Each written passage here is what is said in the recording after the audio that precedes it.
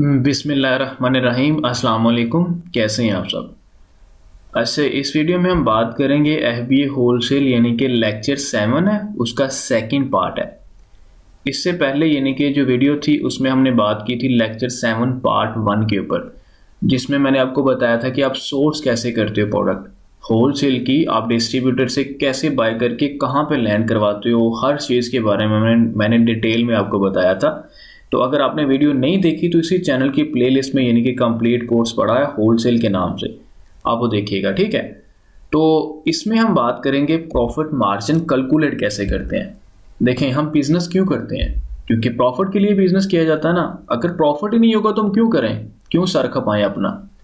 तो इसीलिए हम पहले उसकी प्रॉफिटेबिलिटी कैलकुलेट करते हैं, उसकी प्रॉफिट मार्जिन कैलकुलेट करते हैं। अगर तो उस प्रोडक्ट में प्रॉफिट होगा तो हम उस लिस्ट के साथ मीटू करते हैं, उनसे प्रोडक्ट बाय करते हैं।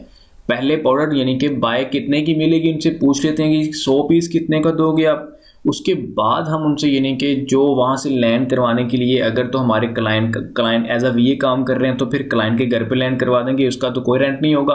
अगर आप पाकिस्तान में बैठे हो या अपना काम कर रहे हो होलसेल का तो फिर वहाँ पे आपको कहीं लैंड करवानी पड़ती है। तो वो प्रेप सर्विस यानी कि लोग हैं जो कि आपको सर्विस प्रोवाइड करते हैं, वहाँ यानी कि आपकी इन्वेंट्री अपने पास रखते हैं, उसके ऊपर आइटम लेबल बॉक्स लेबल लगाते हैं, फिर उसको अमेजोन के वेयर उसमें शिप करते हैं। उसकी वो शिपिंग कॉस्ट तो मीन्स मीन्स कि आप ये सारी पहले कैलकुलेशन करते हो। अगर प्रॉफिट होगा तो आप उसको ऑर्डर प्लेस करते हो। आप उसको पेमेंट करते हो कि हमें सौ पीस चाहिए या दो सौ चाहिए, ठीक है? तो इसके लिए हमारे पास अमेजोन एफ़ कैलकुलेटर होता है। जहाँ पे हम प्रॉफिट मार्जिन कैलकुलेट करते हैं। अगर तो प्रॉफिट होगी, बात गौर से सुननी है। अगर तो प्रॉफिट होगी, फिर हम उसको ऑर्डर प्लेस करते हैं। ऑर्डर प्लेस करने के बाद जब उनसे ले लेते हैं, लेने के बाद यानी कि हमने मीटू करना होता है। जब हम उनसे इन्वेंट्री बाय कर लेते हैं, फिर हम मीटू कर लेते हैं। क्योंकि यहाँ पे लिस्ट तो आपने अपनी बनानी नहीं है। तो यहाँ पे जैसे ही बाय करना है, उसके बाद आपने जिस लिस्ट के साथ मीटू करना है, उसका एसन पकड़ना है, उसके साथ मीटू कर लेना आप। तो मीटू वाला लेक्चर हमारा एट होगा, वो नेक्स्ट लेक्चर होगा। इसमें क्या करना है? हमने मीटू करने के बाद यानी कि सेल करना शुरू कर देते हैं। तो पहले प्रॉफिट मार्जिन होगा। तो अदरवाइज़ हम उसको नहीं लेंगे, उसको बाई नहीं करेंगे। तो प्रॉफिट मार्जिन कैलकुलेट करने के लिए हमारे पास एफ़ कैलकुलेटर होता है। तो वो ये हमारे पास एमेजोन एफ़ कैलकुलेटर इसके थ्रू हम प्रॉफिट मार्जिन कैलकुलेट करते हैं। ये अमेजोन की फीसिस ऑटोमेटिकली पिक करके हमारे सामने डाल देता है। कैटेगरीज हम इनको इन्फॉर्म कर देते हैं कि ये कैटेगरी जिसके साथ हम मीटू करना चाह रहे हैं। ठीक है? वो होम एंड किचन की हो सकती है लिस्ट वो ऑफ़िस प्रोडक्ट की हो सकती है वट इसको हम ओपन करते हैं। अमेजोन प्रॉफिटेबिलिटी कैलकुलेटर इसको जैसे ही ओपन किया, ये हर मार्केट का होता है, जैसे ये यूएस का है। अब आगे यूके लिखोगे तो यूके का आ जाएगा। जो भी मार्केट आके लिखोगे, उसका आपके सामने आ जाएगा। तो आपने यहाँ पे कंटिन्यू एज अ गेस्ट यहाँ पे एंटर होना है। तो ये इस तरह का यानी कि इंटरफेस आपके सामने ओपन होगा। अब यहाँ पे आपने क्या करना देखें, ये कैलकुलेटर आपको डिटेल तभी देगा जब आप इसको बताओगे कि आपकी कैटेगरी कौन सी है। क्योंकि ये फीसिस कैटेगरीज की बेस के ऊपर डालता है। कैटेगरी की फ़ीस फिक्स होती है।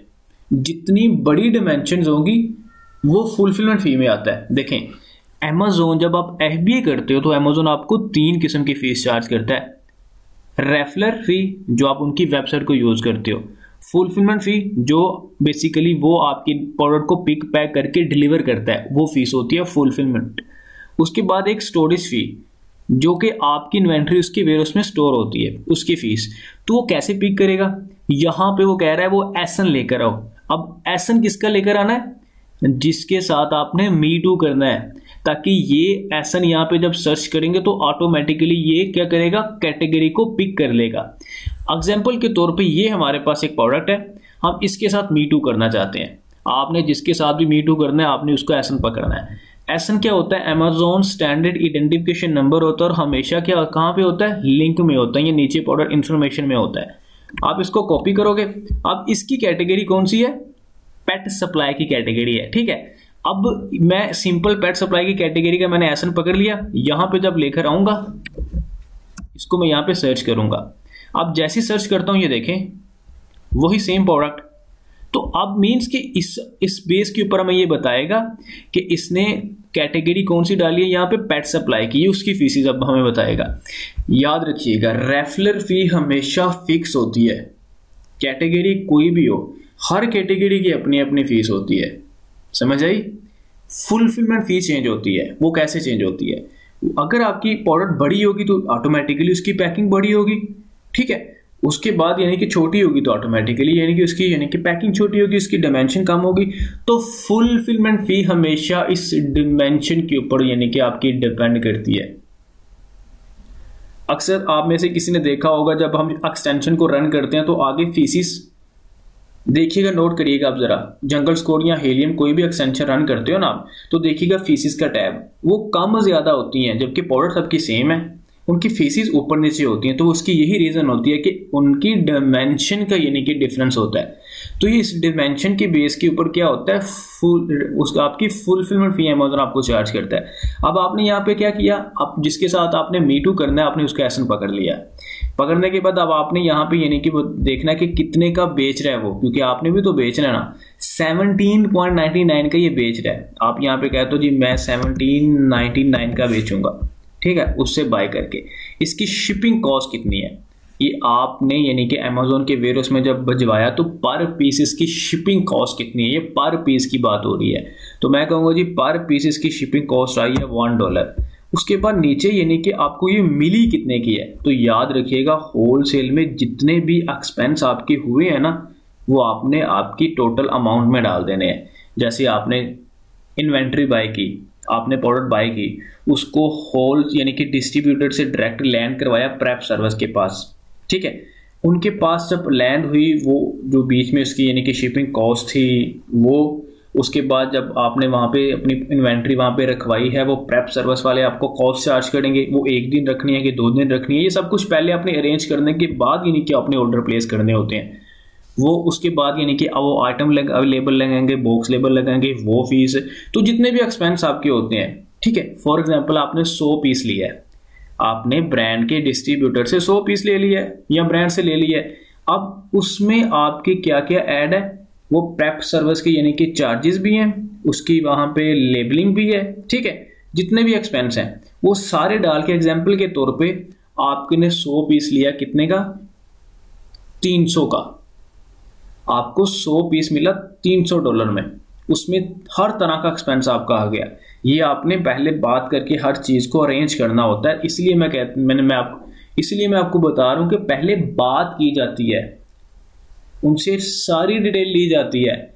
अच्छा प्रेप सर्विस वाले एक दिन का क्या चार्ज करेंगे? लेबलिंग लगाने के क्या चार्जेस करेंगे? फिर शिप कैसे करवाएँगे? उसके क्या चार्जेस लेंगे? और जहाँ से हमने बाय करनी है, वो कितने की देगा? तो ये सारा कुछ यानी कि पहले हम, यानी कि इसकी सबकी, यानी कि पहले इन्फॉर्मेशन इकट्ठी कर लेते हैं। बाद में अगर प्रॉफिट होगा तो हम क्या करेंगे ऑर्डर प्लेस करेंगे अदरवाइज़ हम ऑर्डर प्लेस नहीं करेंगे, हम उसको यानी कि अगर प्रॉफिट ही नहीं है तो होलसेल में कितना प्रॉफिट होता है? कम से कम बारह परसेंट, पंद्रह परसेंट यानी कि होना चाहिए। ठीक है? पीएल में होता है पच्चीस परसेंट, तीस परसेंट।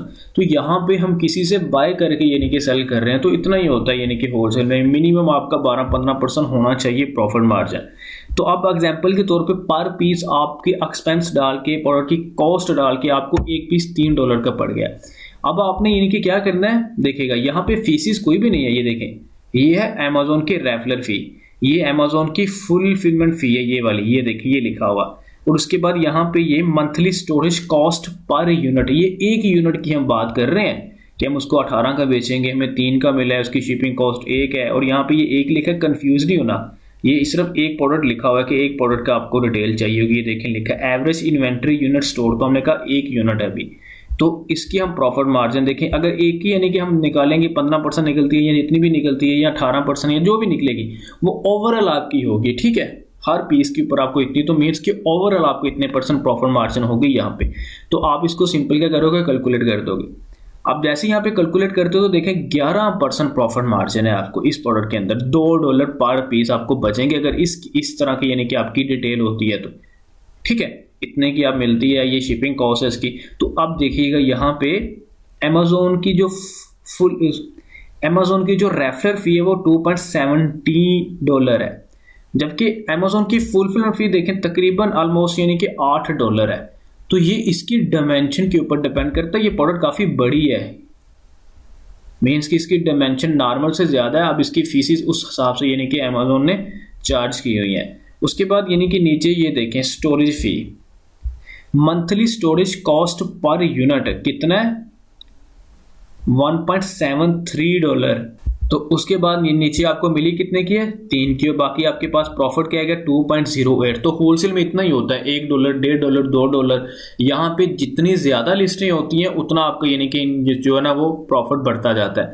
तो सिंपल यानी कि यही हमने बात करनी थी कि प्रॉफिट मार्जिन आप कैसे कैलकुलेट करते हो एफबीए कैलकुलेटर को आप कैसे यूज़ करते हो।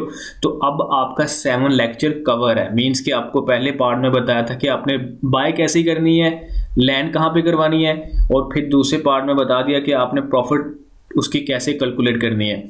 अगर तो प्रॉफिट होगी, जैसे अभी ये नहीं कि ग्यारह, बारह परसेंट या पंद्रह परसेंट जितनी भी होगी, आपने फिर उसको ऑर्डर प्लेस करना है। ऑर्डर प्लेस करवा के आपने क्या करना है? आपने लैंड करवा देनी है प्रेप सर्विस के पास। फिर उसके बाद आपने मीटू करके उसका शिपमेंट प्लान बनाना होता है। शिपमेंट प्लान बना के आप क्या करते हो? अमेजोन के वेरोस में उसको शिप कर देते हो। और उसके बाद आपने उसको लॉन्च करना होता है। यहाँ पे लॉन्चिंग के लिए कोई पीपीसी नहीं होती। सिंपल आपको बात करेंगे हम इसके ऊपर भी, ठीक है? तो ये है प्रॉफिटेबिलिटी कैलकुलेटर कि हमने प्रॉफिट मार्जिन कैसे कैलकुलेट करनी है। कोई मुश्किल नहीं है। तो बाकी अगर आपको ना ही समझ आई तो इस वीडियो को दोबारा देखिएगा। फिर भी समझ नहीं आती तो हम इसके ऊपर दोबारा बात कर लेंगे, ठीक है? तो नेक्स्ट इंशाल्लाह लेक्चर आपको मी टू का मिलेगा। बाकी आप अपना ख्याल रखिएगा। अल्लाह हाफिज़।